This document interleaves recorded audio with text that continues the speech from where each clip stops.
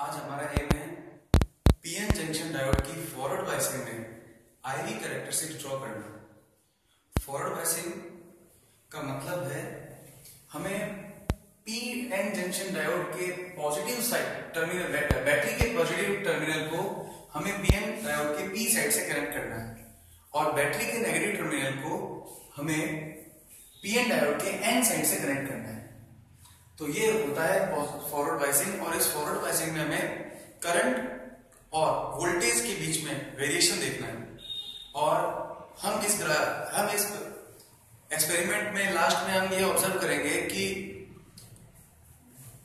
कि V I I we कनेक्टरिस्टिक्स जो PN junction diode के लिए बनाते हैं, उसमें जो ग्राफ बनता है, वो स्ट्रेट लाइन नहीं बनता है। और वो जो ग्राफ बनता है, वो इस तरह से एक्सपोनेंशियली इंक्रीज होता है उसमें करंट तो करंट ओम्स लॉ को फॉलो नहीं करता है। ये एक्सपोनेंशियली इंक्रीज होता है।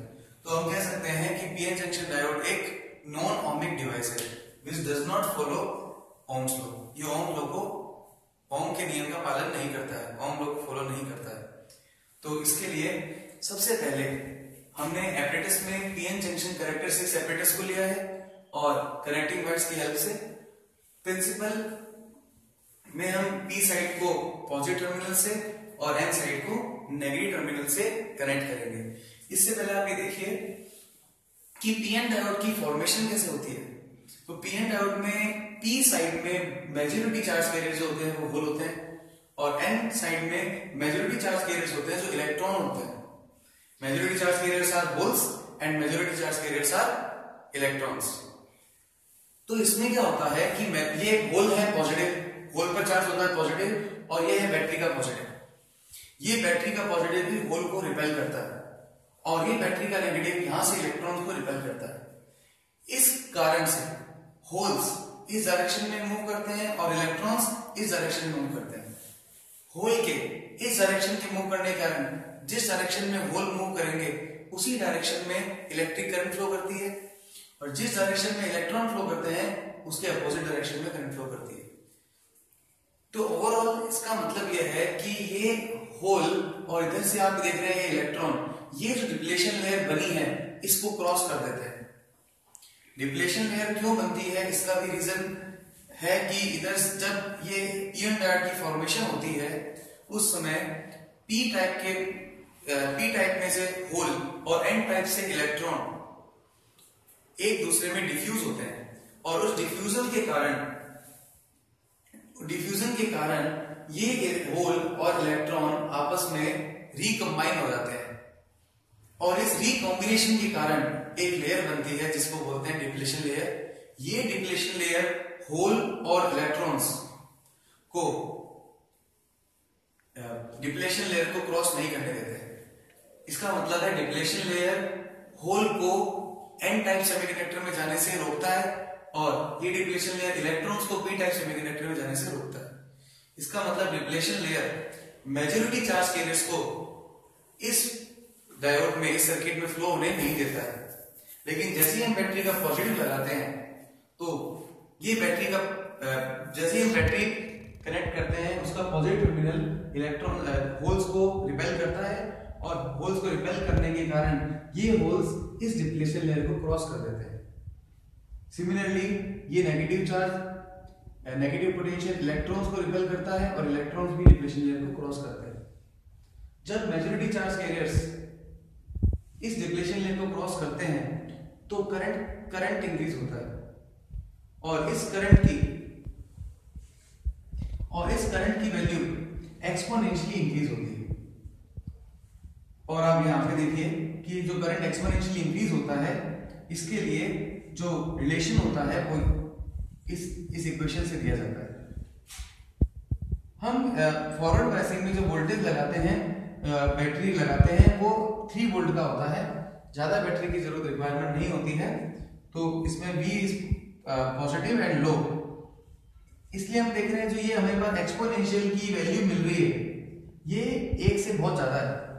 तो इस इक्वेशन में यहाँ पे हम एक को नेग्लेक्ट कर सकते हैं तो फॉरवर्ड बाइसिंग के लिए करंट की equation I F equal to I naught e tens to EV upon by K T ये इक्वेशन होती है। और आप इसमें देख रहे हैं कि करंट की मैक्सिमम वैल्यू एक्सपोनेंशियली चेंज हो रही है।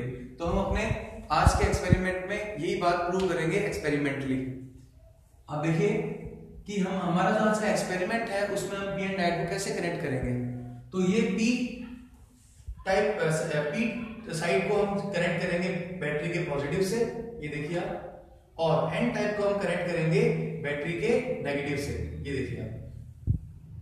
यहाँ पर एक पोटेंशियल डिवाइडर लगाया हुआ है, एक रियोस्टेट लगाया हुआ है, जो वोल्टेज की वैल्यू को कम या ज़्यादा करेगा। वोल्ट मीटर वोल्टेज मेजर के लिए और अमीटर करंट मेजर के लिए हमने लगाया हुआ है। तो आप यहाँ पे इधर देखिए।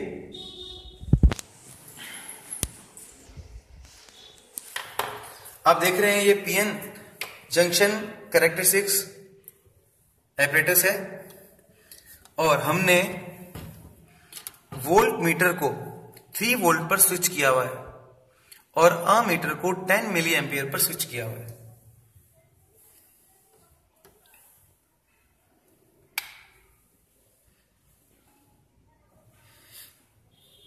वोल्ट मीटर 3 वोल्ट पर और अमीटर 10 मिली एम्पियर पर तो सबसे पहले रीडिंग स्टार्ट करने से पहले हमें इनके लीस्ट काउंट को कैलकुलेट करना होगा।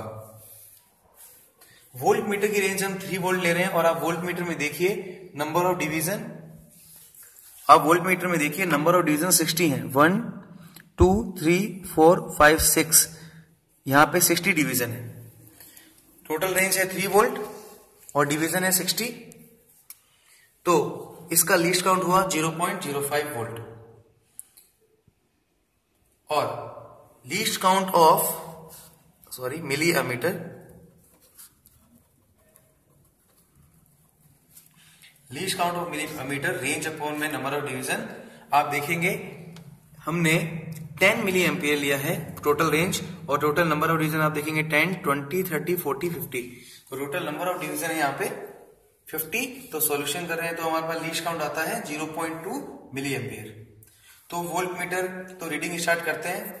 सबसे पहले हम रियो इस रियो स्टेट से इसकी वोल्टेज को पाँच डिवीज़न आगे बढ़ाते हैं।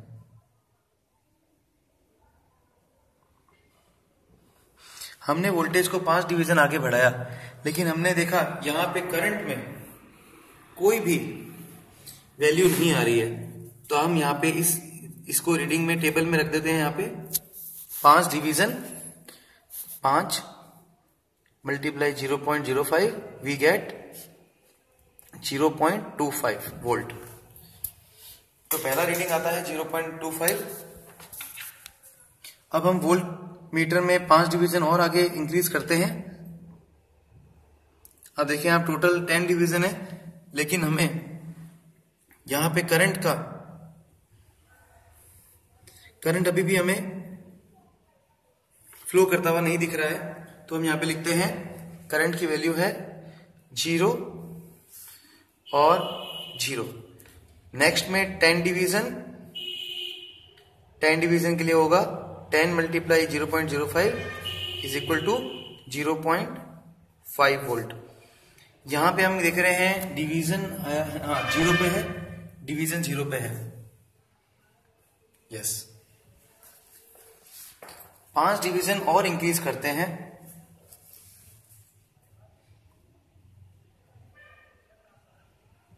हमने जैसे ही पाँच डिवीज़न इंक्रीज किया, हम यहाँ पे वोल्टेज देख पा रहे हैं।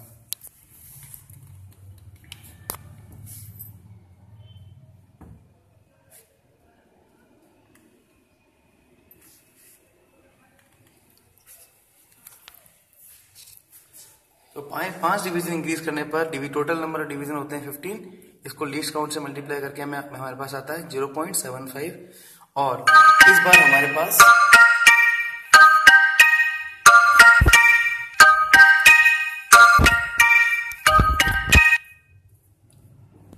और इस हमारे इस बार हमारे पास अ मीटर में भी कुछ रीडिंग्स आई हैं। और अ मीटर की रेंज है वन टू एंड थ्री आप देखेंगे अ मीटर अ मीटर पे डिवीज़न है थ्री। तो इन थ्री डिविजन्स को हम मल्टीप्लाई करेंगे लीस्ट काउंट से। अमीटर के लिए लीस्ट काउंट है point two, three into point two we get zero point six milli ampere current. तो आप देखेंगे कि पॉइंट सेवन फाइव वोल्ट से करंट की वैल्यू इंक्रीज होने लगी है। तो हम एक बार, बाकी हम ग्राफ से कैलकुलेट करेंगे, एक बार ये कह सकते हैं कि 0.75 पीक वोल्टेज है जिसपे करंट इंक्रीज हुआ है। अब हम फाइव डिवीज़न और इंक्रीज करेंगे वोल्टेज को। वोल्टेज को फाइव डिवीज़न और इंक्रीज करके हमारे पास टोटल नंबर ऑफ़ डिवीज़न आया ट्वेंटी और ट्वेंटी को मल्टीप्लाई करेंगे point zero zero point zero five से तो हमारे पास आएगा वन वोल्ट तो यहाँ पे वन वोल्ट और हम करंट को देख पा रहे हैं। करंट में डिवीज़न आ रहा है। One two three four five six seven ये सेवन और एट के बीच में आ रहा है। तो हम इसको इसे सेवन कंसीडर कर सकते हैं। Number of division in meter is seven seven multiply point two is one point four milli ampere now अब इसे पाँच डिवीज़न और इंक्रीज किया। इसे पाँच डिवीज़न और इंक्रीज करने पर हमारे पास आता है total number of division twenty five और ये वन पॉइंट टू फाइव यहाँ पे हम देख पा रहे हैं five five ten twelve number of division is twelve twelve multiply point two is two point four milli ampere पाँच डिवीज़न और इंक्रीज करते हैं इसे।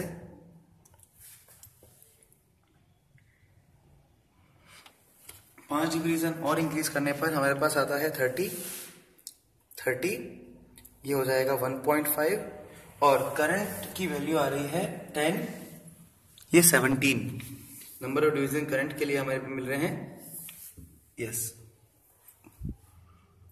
फिफ्टीन सिक्सटीन सेवनटीन तो करंट इंक्रीज हुआ है 3.4 मिली एम्पियर अब फाइव डिवीज़न और इंक्रीज करने पर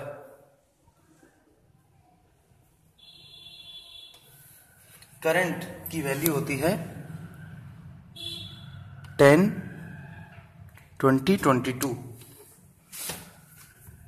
35 पर यह आ जाएगा हमारे पास 1.75 ये 22 22 4.4 मिली एम्पियर। फाइव डिवीज़न और इंक्रीज करने पर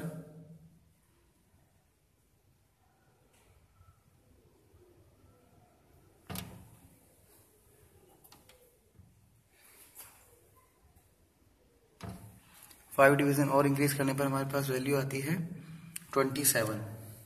Forty two twenty seven. Twenty seven multiply two is five point four milli ampere. तो हमारे पास इतनी रीडिंग सफिशेंट है ग्राफ प्लॉट करने के लिए। तो अब हम इसके लिए ग्राफ प्लॉट करते हैं। तो ग्राफ के लिए हम y एक्सिस में करंट को लेंगे और x एक्सिस में वोल्टेज को लेंगे। तो y एक्सिस में हम लेंगे करंट और x एक्सिस में हम लेंगे वोल्टेज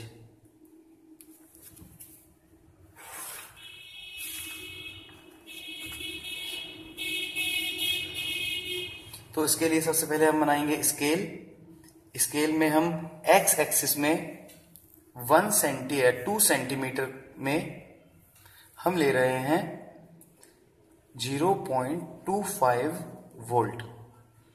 और वाई एक्सिस में हम टू सेंटीमीटर में करंट ले रहे हैं।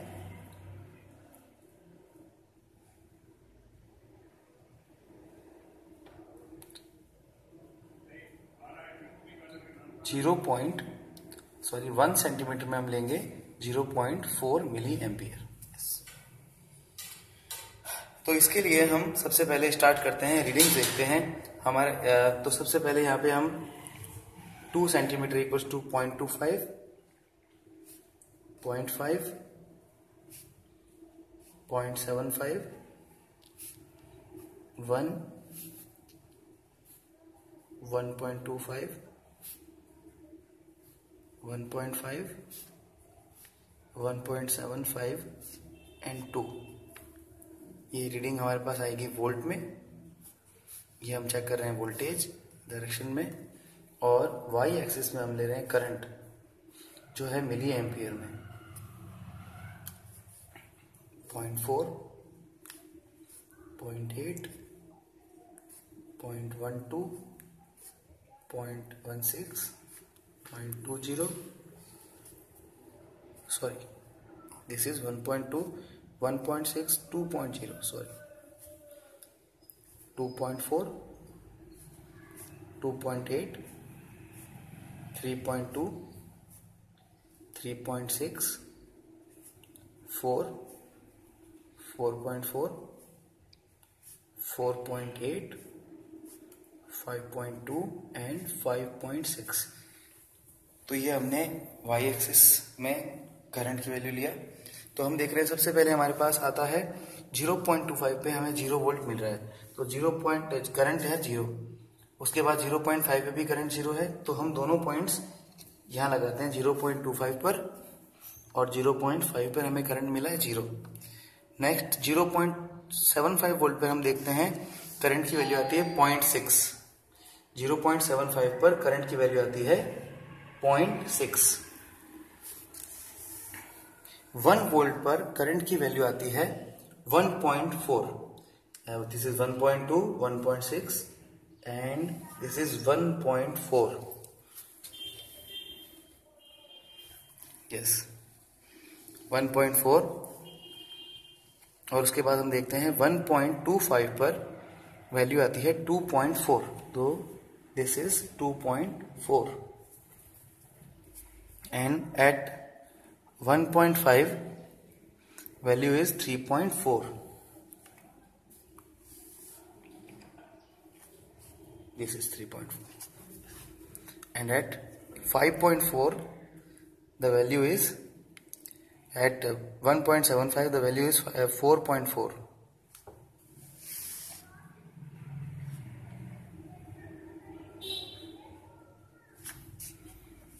two पे हम देख रहे हैं वैल्यू है 5.4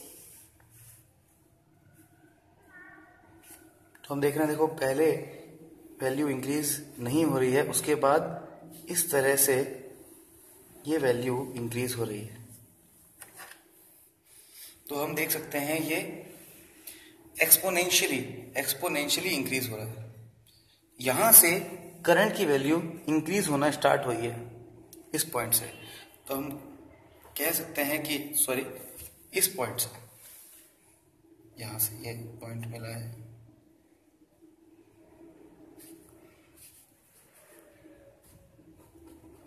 इस पॉइंट को हम कहते हैं पीक पॉइंट पॉइंट फाइव और पॉइंट सेवन के सेवन फाइव के बीच में आ जाएगा.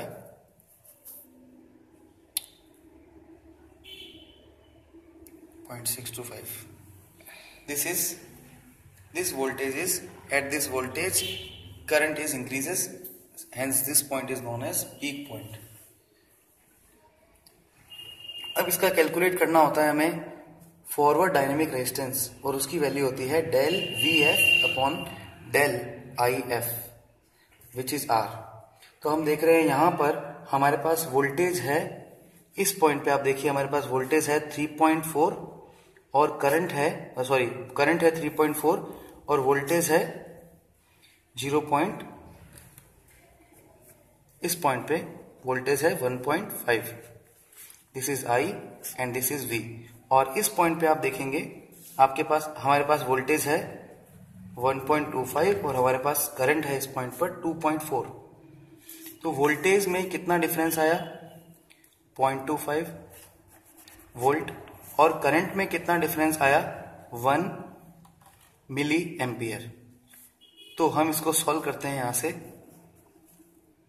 0.25 मिली के लिए ten tens to minus three ऊपर आएगा तो ten tens to plus three one. तो हमारे पास ये वैल्यू आती है 250 फिफ्टी ओम तो हमारा फॉरवर्ड रेजिस्टेंस जो है इस ग्राफ से वो आता है 250 फिफ्टी ओम